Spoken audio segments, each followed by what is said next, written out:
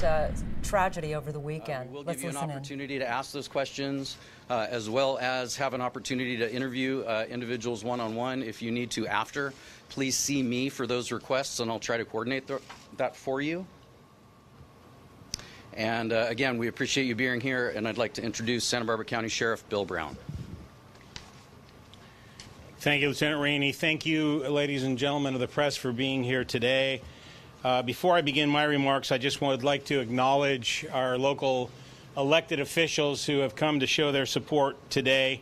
We are joined by Congressman Salud Carbajal, Senator Hannah-Beth Jackson, Assembly Member Monique Limón, and two of our county supervisors from the second district we have Supervisor Gregg Hart, and from the 3rd District, Supervisor Joan Hartmann. So I'm going to give you a uh, quick overview of the incident and what occurred uh, early today. I'm going to then uh, hand it off to Coast Guard Captain, who is going to talk about the rescue effort that uh, went underway this morning.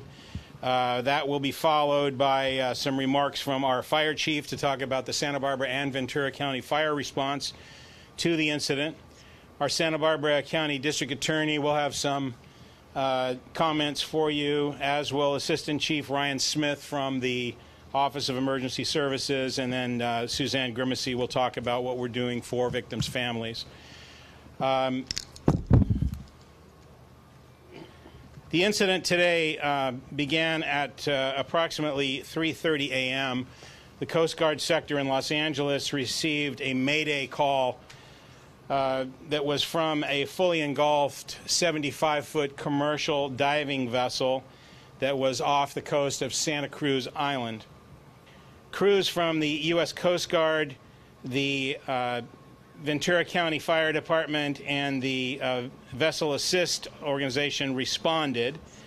The Coast Guard uh, launched aircraft as well as boats and uh, located a vessel that was fully involved in flames in the Platts Harbor area on the north side of Santa Cruz Island. The crews were actively fighting the fire uh, when the vessel began to sink at approximately 7:20 a.m. this morning. 39 souls were reported to be on board that vessel when it left Santa Barbara. Five victims were subsequently rescued uh, and uh, during the initial response and have been transported uh, to Ventura, were transported to Ventura Harbor. This particular dive trip that the boat was on was a three day trip uh, that began August the 31st. It was scheduled to end tomorrow morning. Uh, it was advertised as a Labor Day weekend North Channel Islands dive trip.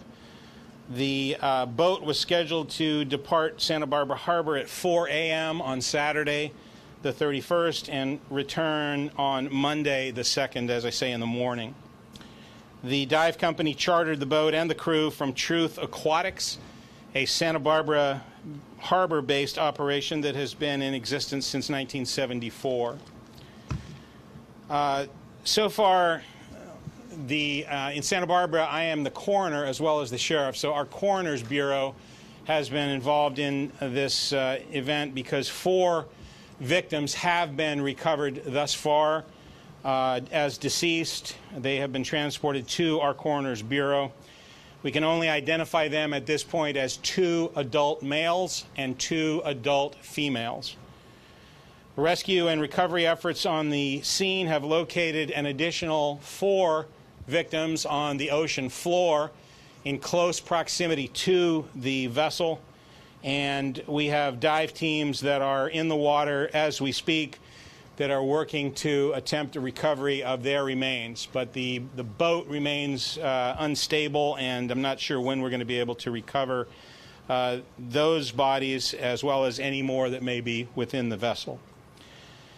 The Coroner's Bureau is responsible for identifying the victims, for notifying the next of kin, and for determining the cause and manner of death.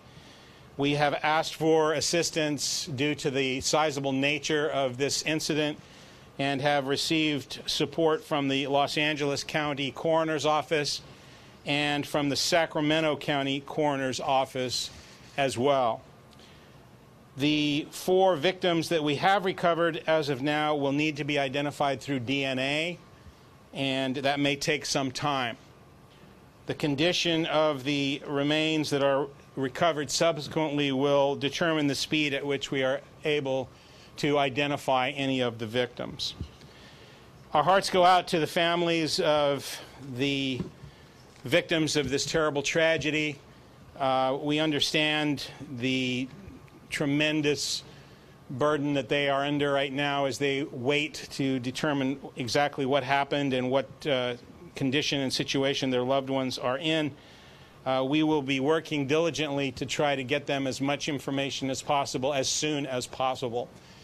We've also set up a family assistance center which is designed to uh, provide uh, specialized assistance to family members of uh, victims of this tragedy. Um, I am going to now turn this uh, over to Captain Monica Rochester of the United States Coast Guard, uh, Los Angeles sector, and she will uh, give you a briefing on the rescue effort that uh, was undertaken this morning. Yeah, my name is Sheriff Bill Brown. Common spelling.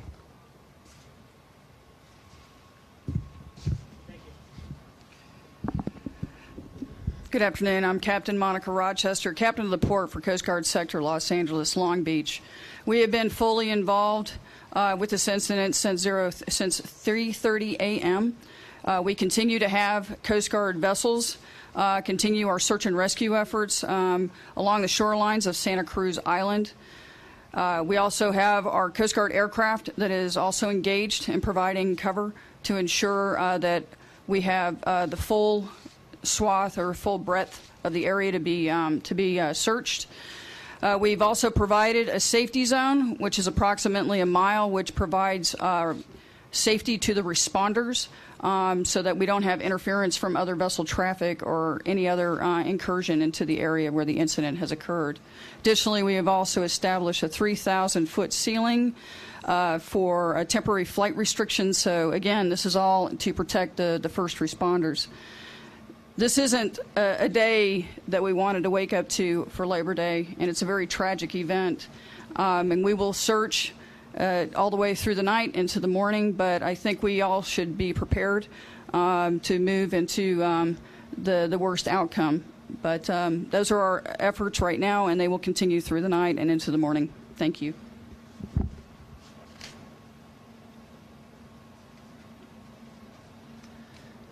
Good afternoon. Mark Hartwig, H A R T W I G. I'm the County Fire Chief and County Fire Warden for the County of Santa Barbara.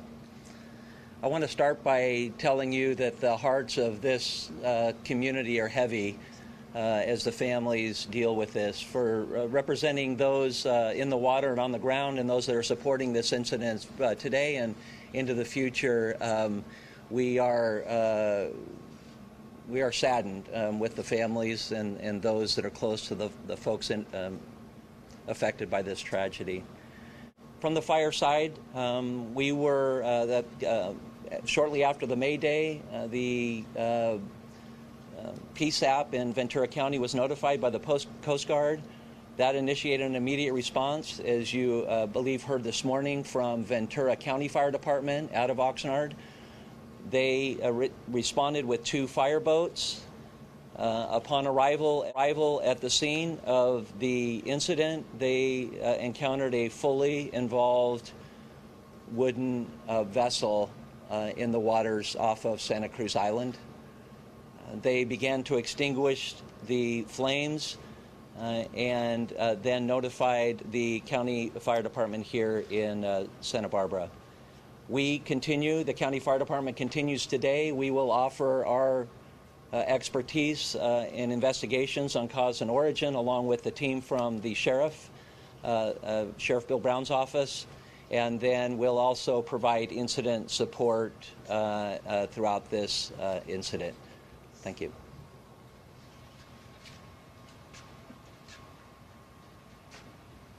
My name is Joyce Dudley, D U D L E Y. I'm the District Attorney of Santa Barbara County.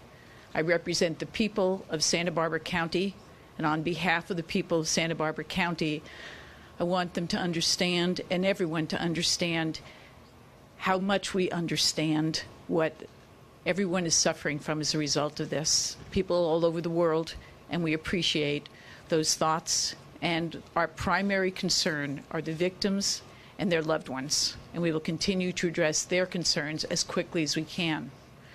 Santa Barbara County shares jurisdiction over these waterways and the area around uh, Santa Cruz Island with the U.S. Attorney. I've been speaking with the U.S. Attorney Nick Hanna since this morning. We will continue to communicate with each other constantly and to address any jurisdictional concerns, monitor the investigation, and help in any way we can. Again, to those who are suffering as a result of this tragedy, you have our support and our love.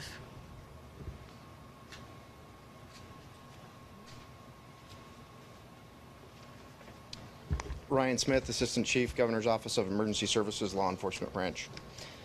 On behalf of the Governor's Office of Emergency Services, we send our condolences to the victims and the families. Please know the thoughts of our entire state are with you during this tragic incident. Early this morning, the state's California Master Mutual Aid Plan was activated, resulting in multiple law enforcement, search and rescue, and coroner's resources being immediately dispatched to Santa Barbara to assist with the local and federal resources actively engaged in this incident. As this incident continues, we remain committed to ongoing collaboration with our local, state, and federal resources to respond to this tragic incident and fully support them in their ongoing efforts. This is a very complex, tragic, and sensitive incident requiring various resources and specialized training. Highly trained public safety personnel from throughout the state are on scene and engaged with our local partners and will remain committed throughout the response as well as into recovery operations. And I just want to reiterate our thoughts and prayers for the victims of this tragic incident, their families, and the Santa Barbara community as a whole.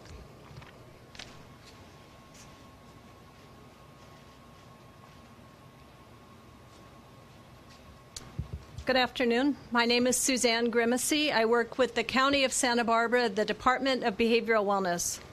Today is Labor Day. I know people probably had many plans, ranging from working or spending time with family and friends. I'm sure nobody planned to have their day spent the way it is now and waking up to the news that we received. We have a family assistance center that is set up at Warren Hall at Earl Warren Showground. The Family Assistance Center will be open through 9 p.m. tonight, open again at 9 a.m. tomorrow. We plan to stay open through Thursday, but really to stay open as long as is needed. The Assistance Center is a place where family, friends, loved ones, community, a place where people can come to get information, to get support, to get mental health counseling, and to get resources. The center is staffed by the county's Department of Behavioral Wellness for mental health counseling. We have clergy, chaplain, Red Cross, Hospice of Santa Barbara, Sheriff's Department, Fire, and others working together as a team. In addition, the county has a public information line that can be called. That number is 833 688 5551. So we'll carry on together as we get more information and learn new findings as the days progress. Hope that you will take care of yourself well and take care of others. Thank you. Thank you, Suzanne, and thank all of our speakers. Uh, we now uh, be in a position to take some questions from you. Let me, let me get him first. Are you hopeful that more survivors will be found?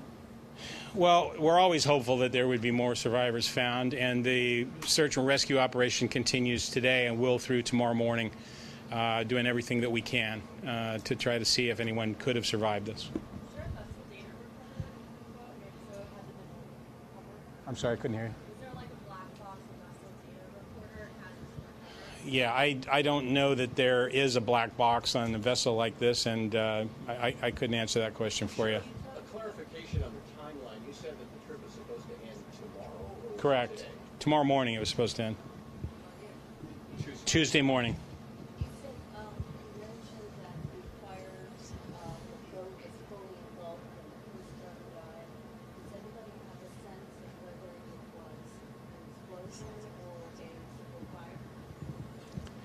Um, the initial reports that were received in the Mayday were that the fire was underway. There were no initial reports of an explosion. There have been several media reports about uh, potential for an explosion or explosions. Um, that could be, it's just speculation, but obviously that could be uh, scuba tanks or, or uh, propane tanks or other things that could be blowing up in the fire. But there's nothing that would, in, in the initial broadcast from the vessel, that indicated that there was an initial explosion. We don't know that at this point. I, you know, and I think it's you have to understand this is probably the worst case scenario you could possibly have. You have a vessel that's on the open sea that is in the middle of the night. I mean, at 3:30 in the morning. Um, fire is the scourge of any uh, ship, and uh, you know the vessel. This, eh, you know, if if not everybody, most everybody was asleep at this time. The the the majority of the people were the passengers on the ship, and the sleeping compartment was on the bottom deck of the ship, so they would have been sound asleep when this fire started. So you can imagine that eh, of all scenarios, to be in a remote location, have a fire that occurs, have limited, if any, firefighting capabilities that could uh, address that, and then to have all of a sudden a fire that spread very, very rapidly, uh, you, you couldn't ask for a worse situation. Sir, how much of the coastline has been searched so far? What are the water conditions? Uh, and Can you I- repeat the question? Yeah, could you repeat that question? How much of the coastline has been searched so far? What are the water conditions? Yeah, I know that I, I can't tell you exactly how much has been searched, and I don't know if Captain Rochester can, can address that, but certainly the island itself, the, the coastline has been checked. I don't have the uh, the actual specific uh, length or uh, amount, but what I can tell you is that we continue the search around the island itself, as well as um, uh, the water currents have indicated uh, that moving to the west. So we will concentrate our effort also to the west as well. Captain, do boats have, do boats like that, is there a protocol for escape hatches for below decks, uh, people on boats of that particular design? Uh, usually, that design is required to have an emergency escape hatch. And what does that usually involve? What kind of an escape hatch? Uh, it's usually um, leads you, leads the individuals out onto the main deck. From their from what we would call their accommodation spaces, their sleeping quarters. So do you know if there was one there, was it blocked, was it? Uh, I don't have that information. Uh, I'm sorry. Could you repeat your question? Um, has the has the crew spoken to investigators? Have they said if they had any rescue efforts themselves? Uh, the crew, uh, the crew that was interviewed um, today by um, Santa Barbara sheriffs, as well as um, some Coast Guard investigators, but I, I don't have the knowledge of, of what was discussed. Was it 33 people or 34 people? Okay, let's clarify that. It was a total of 39 people on board, six of which were crew, and 33 were passengers. And only, five passengers? Where they're from? Whoa, whoa, whoa. whoa. One question at a time, please. So it's a total of 39 people on board. Of that are six crew members and 33 passengers. That is unaccounted for. That is correct. Yes, there were. I, I, I can't speak to that. The investigation is ongoing.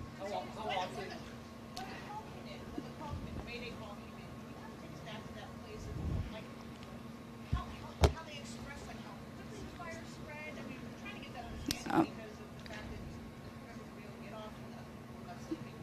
So the Coast Guard Communications Center uh, explained to me that when the call came in, the vessel was already totally engulfed in flames. That's exactly how it was relayed to us.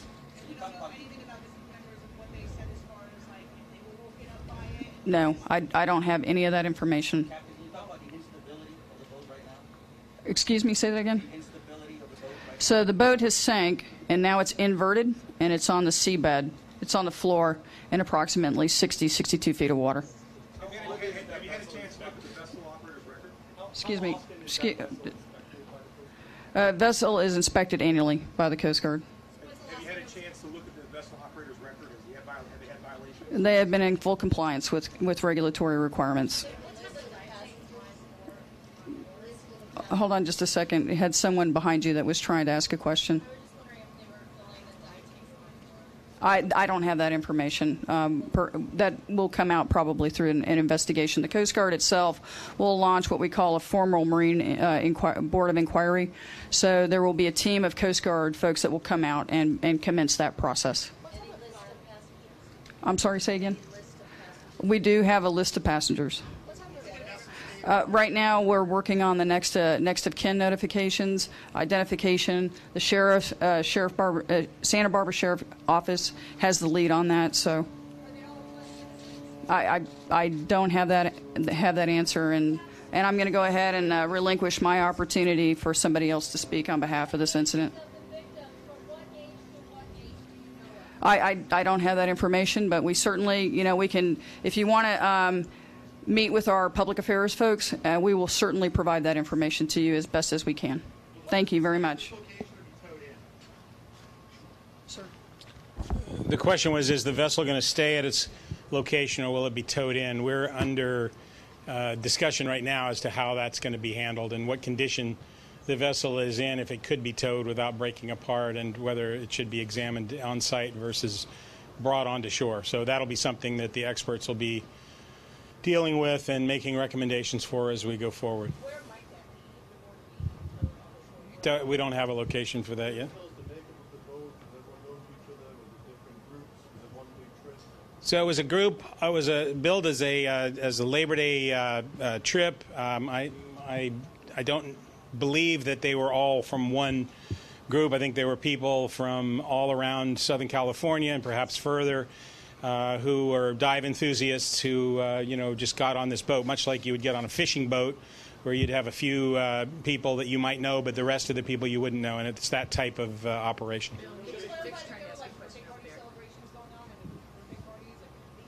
I've, I've not heard that. So, uh, uh, question is, was there firefighting equipment on board? There would have to be firefighting equipment on board to pass the Coast Guard inspection. So. We have, uh, at this point, there's only uh, four people have actually been recovered. Four more have been spotted or seen on the ocean floor, and the remaining 31 people are still missing at this point. Okay, one at a time, please.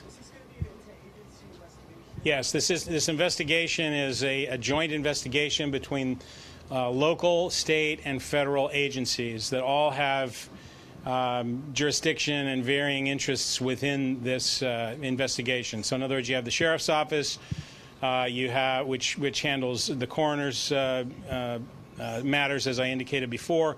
You also have the state uh, Office of Emergency Services that responds to disasters and, and major emergencies like this. You have the federal National Transportation Safety Bureau and other federal investigative agencies that will be in support of that. Um, the Coast Guard has an investigative arm, the Coast Guard Investigative Service. So there's a number of different agencies that will be involved in this investigation.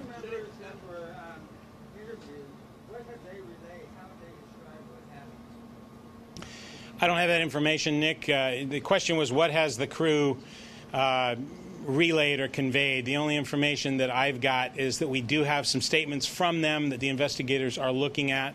Uh, we also have the um, the gist of what the initial Mayday call was. Uh, other than that, we don't have any any details at this point. The boat is unstable. What has to be done for allow uh, rescue divers to go inside the vessel? Yeah, that, I, I don't know that I can answer that. Question is, if the boat's unstable, what has to be done before rescue divers can go down there? It's it's only unstable from the standpoint that it's upside down in relatively shallow water with receding tides uh, that, that are moving it around essentially.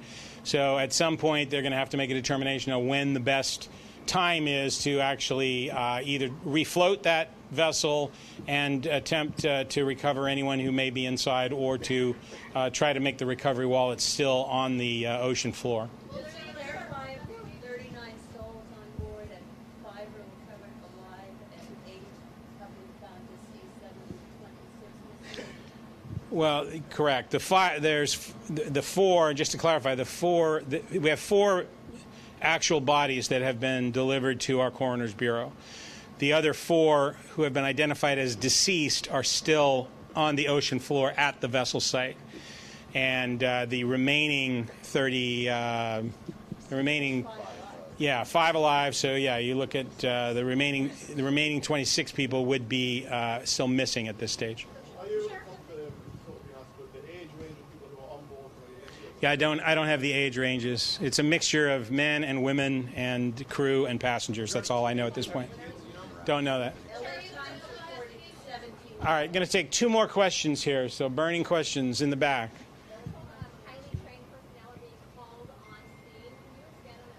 So the salvage operation to get the, the vessel refloated and, uh, and examined is one that obviously calls for a tremendous amount of expertise. Uh, that's one that will be uh, required. And then there's also a concern for whatever fuel may be left in the vessel in terms of uh, a hazardous uh, leak type uh, to contain the, the fuel that may be and any other hazardous materials that may be in the vessel as well. The Mayday call references people being locked in. Can you expand on that? Were they actually locked below deck? That I, I don't have that information at, at all. So I, I didn't hear that. So, no, I heard the question, but that. I yeah, we have that. That is not information that's made its way to us. Well, there's a, an investigation to determine if there was any criminal activity, but we have no reason to suspect that there was at this point. But we are going to make sure that that's not the case. So uh, that's why we'll be conducting it. Any passengers from the San Francisco Bay Area? Don't have that information for you. Thank you, ladies and gentlemen.